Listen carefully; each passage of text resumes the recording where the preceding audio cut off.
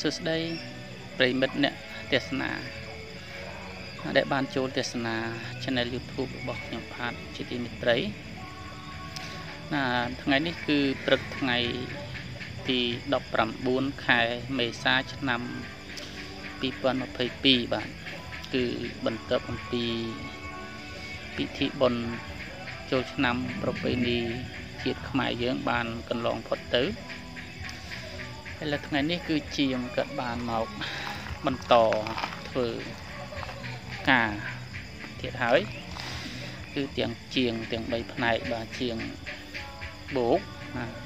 កំពុងឃើញសកម្មភាពនោះពីអ្នកហើយនឹងជាងជ្រីហើយនឹងជាងបិទក្រូខាងក្នុងបាទអញ្ចឹងគឺគាត់មកទាំងគ្រប់ផ្នែកហើយចាស់ចាស់ក៏ដេកអដែរតាមជាងមកបាទធ្វើការអញ្ចឹង ដើម្បីចង់ឲ្យ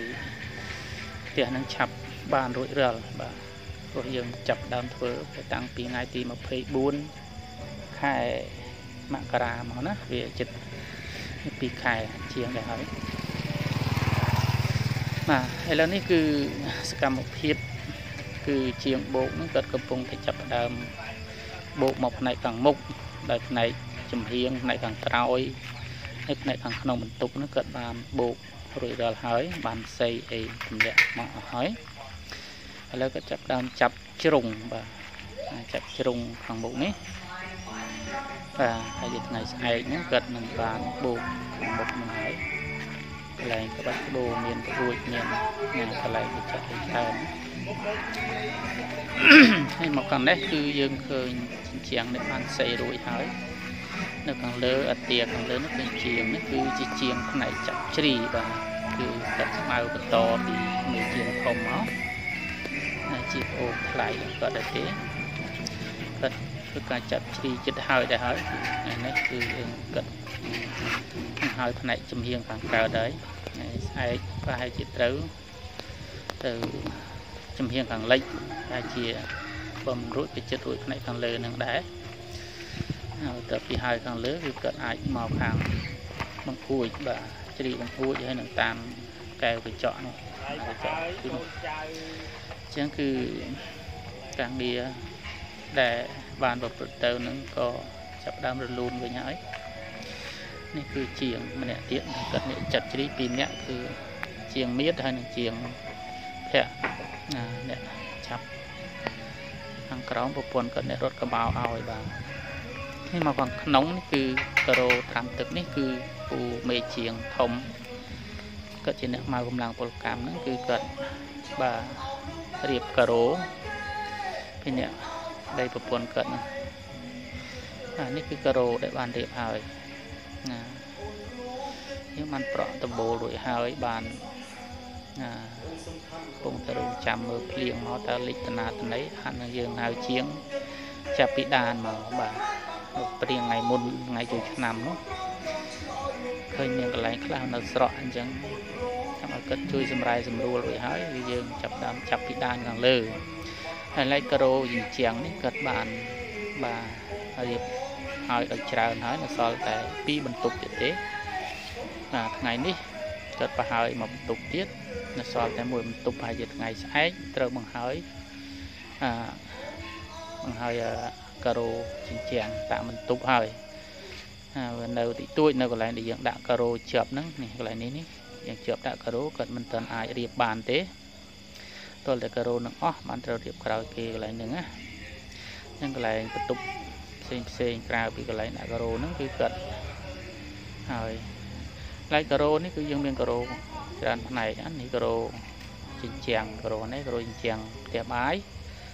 បាទនេះការ៉ូនេះ made in Cambodia បាទតម្លៃមួយការ៉េមកមកកេះហ្នឹងតែ5ដុល្លារ30កាក់ខាងនោះគឺការ៉ូបាតផ្ទះអានេះគឺការ៉ូបន្ទប់ទឹកអតូចតូចនោះហើយខាងនោះលឿងក្រហមនោះគឺការ៉ូយើងកាត់ធ្វើជាជ្រីបាទតែថាយើងមិនបានទិញការ៉ូជ្រីវាថ្លៃអានេះគឺការ៉ូបាតបាទការ៉ូបាតគឺយើងប្រើការ៉ូថៃបាទមុខ60 60 60បាទនេះ គឺការ៉ូបាតផ្ទះទាំងអស់ហ្នឹងវាយើងប្រើការ៉ូថៃមួយកេះហ្នឹងតម្លៃដូចជា12ដុល្លារជាងបាទ2ដុល្លារប្រហែល5កាក់ចេះហ្នឹងនេះគឺការ៉ូអឺបន្ទប់ទឹកបាទរោងបន្ទប់ទឹក2បាទយើងបិទ4សន្លឹកបាទពីដើមឡើយយើងថាបិទ3សន្លឹកទេ1ម៉ែត្រ8ហើយជាងក៏ថាដល់4ទៅក៏យើង4អានេះគឺការ៉ូដែលយើងកំពុងតែក្រាលនេះគឺការ៉ូជញ្ជាំងផ្ទះនេះ ចិត្តអស់ហើយហើយកន្លែងក្រាលគឺចិត្តអស់ប្រហែលជាគ្រប់ល្មមនឹងឯងបាទនេះមកពួយនេះគឺជញ្ជាំងផ្ទះបន្ទប់ខាងក្នុង បាទបន្ទប់ខាងក្នុងបន្ទប់ឪពុកម្ដាយនោះហើយនេះគឺទ្វារបន្ទប់ទឹកបាទយើងដាក់មកគៀនជញ្ជាំងបាទនេះគឺទ្វារចេញមកក្រៅនេះគឺចេញមកច្រកខាងក្រៅទល់មុខពួយមួយទៀត ហើយខាងនេះគឺជាផ្លូវចេញទៅផ្ទះផាយមកខាងនេះគឺបន្ទប់ទទួលភ្ញៀវបាទបន្ទប់ទទួលភ្ញៀវនេះយើងបិទរួចអស់ហើយប្រូជញ្ជាំងមកខាងនេះគឺបន្ទប់បាទមួយទៀតដែលទល់មុខមិញហ្នឹងក៏កំពុងតែបិទថ្ងៃនេះហើយហើយព្រឹកនេះគាត់មកហើយមួយចំហៀងរសៀលគាត់ហើយមួយចំហៀងទៀតអញ្ចឹងបន្ទប់នេះត្រូវហើយថ្ងៃនេះបាទស្អែកហ្នឹងទី20ប្រហែលជាគាត់អាច បន្ទប់មួយទៀតបានណាបញ្ចប់បន្ទប់មួយបិទជញ្ជាំងបាទក្រោយពីបិទជញ្ជាំងហើយប្រហែលជាគាត់នឹងត្រូវបាទដាក់ថ្នាំថ្នើបថ្នាំបៀកអីទេទៅផ្នែកខាងលើខាងលើនោះតែស័យហើយនោះហើយទយោនេះគឺទយោខ្សែភ្លើងបាទជាងភ្លើងបានដាក់ប្រកបហើយតែមិនដឹងយ៉ាងម៉េចទេចាំមើលណាត្រូវដាក់ពេលណាពេលណីអីហ្នឹងគឺ ក៏ត្រូវចូលមកជាមួយនឹងជាងពីដានឆាប់ឆាប់នេះដែររនេះយើងបិទគឺពីបន្សន្លឹកបាទក្នុងកម្ពស់1ម៉ែត្រពីទឹកហើយយើងដាក់រងដែលយើងកាត់ហើយជាមួយទឹកទៀតទៅចឹងវាកម្ពស់1ម៉ែត្រ3បាទ1ម៉ែត្រ3នេះបិទហើយនេះនៅបាតខាងក្រោមយើងចាំបិទក្រោយតែយើងចាំពីដានចាំអីហើយ ចេញមកខាងនេះគឺផ្លូវផ្ទះបាយមិញហ្នឹងជាងពាន់គាត់ហ្នឹង